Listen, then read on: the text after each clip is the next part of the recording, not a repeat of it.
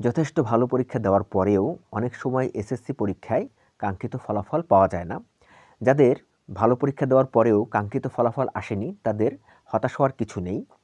আমাদের এসএসসি পরীক্ষার যে খাতাগুলো রয়েছে, সেই খাতাগুলো যখন বোর্ড কর্তৃপক্ষ বিভিন্নভাবে সেগুলোকে তারা রক্ষণাবেক্ষণ করে এবং বিভিন্ন পরীক্ষকের নিকট তারা যখন পাঠায়, সেই কাজগুলো করার সময় তাদের নানা রকম ভুল হয়ে থাকে। সেই ভুলগুলো সংশোধনের সুযোগ রয়েছে এবং সেই ভুল সংশোধনের জন্য যে সুযোগটি রয়েছে সেটি হচ্ছে ফলাফল পুনঃনিরীক্ষণ, অর্থাৎ যে খাতা ঠিকভাবে দেখা হয়েছে কিনা, অর্থাৎ খাতার ভিতরে কোনো প্রশ্ন দেখা বাদ গেছে কিনা বা প্রশ্ন দেখা হয়েছে, নাম্বারও দেওয়া হয়েছে, কিন্তু সেই নাম্বারটি, নাম্বারগুলো, প্রশ্নের প্রত্যেকটা প্রশ্নের উত্তরের যে নাম্বারগুলো একজন শিক্ষার্থী পাবে, সেগুলো ঠিকভাবে যোগ করে যোগফলটা হয়তো ঠিকভাবে করা হয়নি, ইত্যাদি বিভিন্ন রকম সমস্যা থাকে। তো সেই সমস্যাগুলো পুনর্নিরীক্ষণের মাধ্যমে খুব সহজেই সমাধান করা যায়। তাই যারা ভালো পরীক্ষা দিয়েও ভালো ফলাফল পায়নি, তাদের হতাশ হওয়ার কিচ্ছু নেই। তাদের ফলাফল পুনর্নিরীক্ষণের জন্য আবেদন করলেই চলবে। আজকের এই ভিডিওতে ফলাফল পুনর্নিরীক্ষণ করার জন্য কীভাবে আবেদন করবেন সেটি আমরা দেখিয়েছি। দু হাজার একুশ সালের শিক্ষার্থীরা কত তারিখ থেকে কত পর্যন্ত কত তারিখ পর্যন্ত আবেদন করতে পারবে তাও দেখিয়েছি। এবং কত টাকা কাটবে, কীভাবে আবেদন করতে হবে ইত্যাদি সব কিছু আজকের এই ভিডিওতে আমরা আলোচনা করেছি। তাই ভিডিওটি না টেনে ধৈর্য সহকারে সম্পূর্ণ ভিডিওটি দেখুন। আশা করি সম্পূর্ণ ভিডিওটি দেখলে আপনি পরিষ্কারভাবে এই বিষয়টা সহজেই বুঝতে পারবেন। প্রথমে আমরা দেখব কত তারিখ থেকে কত তারিখ পর্যন্ত আবেদন চলবে। দু হাজার একুশ সালের শিক্ষার্থীরা, এসএসসি পরীক্ষার্থীরা একত্রিশ থেকে ছয় জানুয়ারি আবেদন করতে পারবে। অর্থাৎ ডিসেম্বর মাসের একত্রিশ তারিখ থেকে জানুয়ারি মাসের ছয় তারিখ পর্যন্ত আবেদন চলবে। এবং এই আবেদন করতে হবে অবশ্যই টেলিটকের প্রিপেইড মোবাইল নম্বর থেকে। টেলিটক প্রিপেইড মোবাইল নম্বর ছাড়া অন্য কোনো মোবাইল সিম দিয়ে যদি আপনি আবেদন করেন, সেক্ষেত্রে পুনর্নিরীক্ষণের আবেদন বাতিল হয়ে যাবে।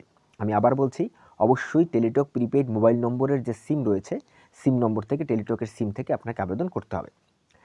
আবেদন করতে হবে অবশ্যই মেসেজের মাধ্যমে। মেসেজের মাধ্যমে আবেদন করার সিস্টেমটা আমি আপনাকে খুব সহজেই দেখিয়ে দিচ্ছি।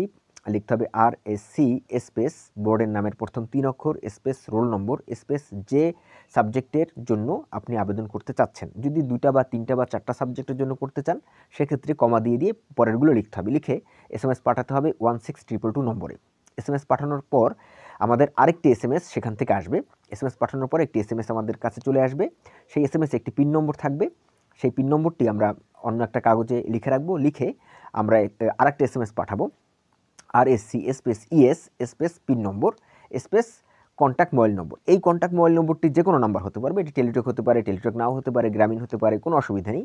কিন্তু যে মোবাইল নম্বরের সিম থেকে, যে সিম থেকে আপনি মেসেজগুলো পাঠাচ্ছেন, অর্থাৎ one six triple triple two এই নম্বরে যে এস এম এসটা পাঠাচ্ছেন, অবশ্যই সেই সেই সিমটা টেলিটকের সিম হতে হবে। আশা করি বুঝতে পেরেছেন।